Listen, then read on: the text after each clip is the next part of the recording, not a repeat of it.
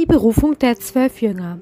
Will mir jemand nachfolgen, der verleugne sich selbst und nehme sein Kreuz auf sich und folge mir nach. Matthäus 16, Vers 24.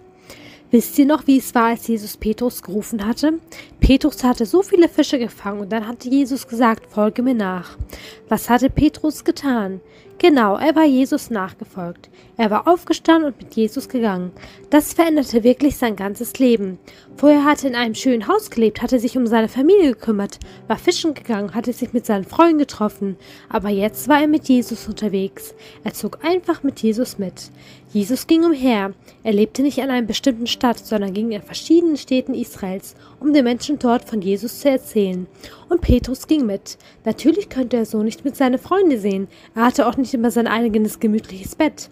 Aber er war mit Jesus unterwegs. Er folgte Jesus nach. Das wollte er tun. Petrus war nicht der Einzige. Sein Bruder Andreas ging mit, Jakobus und Johannes, die anderen Fischer, waren auch dabei. Aber auch viele andere Menschen waren bereit, mit Jesus zu gehen. Manchmal kamen tausende Leute, um Jesus zu hören. Die meisten aber gingen abends wieder nach Hause. Aber trotzdem kamen immer mehr, um wirklich mit Jesus zu leben und umherzuziehen. Wahrscheinlich konnte man nicht genau sagen, wie viele es waren. Mal waren es mehr, mal über 70, mal wieder weniger. Aber Petrus blieb dabei. Er wollte Jesus ganz nachfolgen. Er hatte Jesus kennengelernt und deshalb wollte er bei Jesus bleiben. So war er auch jetzt mit Jesus unterwegs. Aber Jesus schien etwas Besonderes vorzuhaben. Die ganze Nacht war Jesus auf einem Berg geblieben. Ich möchte beten, hatte Jesus gesagt. Ich habe eine wichtige Entscheidung zu treffen. Deshalb möchte ich vorher mit meinem Vater darüber reden. Petrus war neugierig. Was war das wohl für eine Entscheidung? Vielleicht würde Jesus ihnen ja morgen sagen, was los war. Petrus wartete gespannt, bis Jesus vom Berg herunterkam. Endlich war es soweit. Jesus ist wieder da, rief einer der Jünger. Schnell standen alle auf. Manche schliefen noch, die anderen wurden schnell geweckt. Sie machten sich schnell fertig, um wieder bei Jesus zu sein. Bald war eine ganze Menge Leute um Jesus versammelt. Alle schauten gespannt auf ihn. Ich habe für einige von euch einen besonderen Plan, begann Jesus. Zwölf von euch werde ich auswählen, und diese zwölf sollen meine besonderen Begleiter sein. Sie sollen von mir lernen und sie sollen auch selbst losgehen und predigen und anderen von Gottes Liebe erzählen. Die Jünger schwiegen. Petrus schaute sich vorsichtig um. Um ihn herum standen viele andere. Es waren tolle Leute dabei. Männer, die viel erreicht hatten im Leben. Männer, die eine gute Ausbildung hatten, die gut reden konnten. Petrus überlegte, wen Jesus wohl auswählen würde für diese Aufgabe. Ihm fielen einige ein, die das tun könnten. Vielleicht fallen dir auch einige ein, wenn du fragst, wer Jesus wirklich nachfolgend dienen könnte. Aber weißt du was? Jesus will, dass du selbst ihm nachfolgst. Aber dann wurde Petrus aus seinen Gedanken gerissen. Alle schienen auf ihn zu schauen. Was hatte Jesus da gesagt? Hatte er wirklich Petrus gesagt? Das konnte doch gar nicht sein. Er, Petrus, folgte zwar Jesus nach, aber er war wirklich gut genug, dass er auch für Jesus predigen konnte? Petrus war sich nicht sicher, aber Jesus schien sich sicher zu sein. Er hatte wirklich Petrus gesagt. Petrus sollte seiner der Zwölf sein. Jesus hatte ihn wirklich berufen. Jesus konnte ihn so gebrauchen, wie er war. Petrus freute sich riesig. Dann hörte noch andere Namen. Andreas, das war Petrus Bruder, der sollte auch dabei sein. Und Jakobus und Johannes, die beiden anderen Fischer. Oh, die beiden waren bekannt dafür, dass sie sehr temperamentvoll waren. Jesus hatte mal Dönnersöhne zu ihnen gesagt, aber auch sie konnten Jesus gebrauchen. Jesus sprach weiter. Philippus, sagte er und schaute Philippus an. Und dann Bartimäus und Thomas. Wirklich Thomas? Der hatte doch immer so viele Fragen und Zweifel. Ja, wirklich Thomas. Jesus wollte, dass auch Thomas ihm nachfolgte und bei den Zwölfen war. Jesus sah noch einmal alle Jünger an, die er genannt hatte. Ihr sollt mein Apostel sein, erklärte er. Aposteles bedeutet Gesandter. Jesus sandte diese Jünger, sie waren Boten für Jesus. Jesus sprach weiter, ihr werdet von mir lernen, dann will ich euch aussenden. Ihr sollt für mich predigen und ihr sollt böse Geister ausreiben und Kranke heilen. Petrus zuckte ein wenig zusammen. Ja, er wollte Jesus nachfolgen, aber würde das alles schaffen? Wahrscheinlich nicht.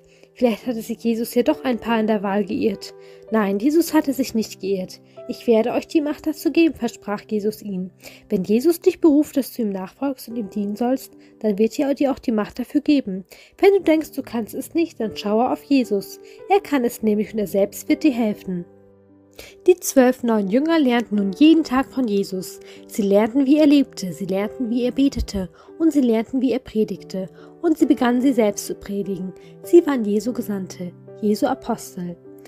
Aber neben den zwölf Aposteln gab es ja noch viele andere Jünger, die Jesus nachfolgten. Sie waren nicht unwichtig, auch sie waren Jesus wichtig. Aber wieder traf er Menschen, die er rief. Folge mir nach. Viele waren bereit, alles zu lassen, um Jesus wirklich nachzufolgen. Manchmal kamen Menschen selbst zu Jesus.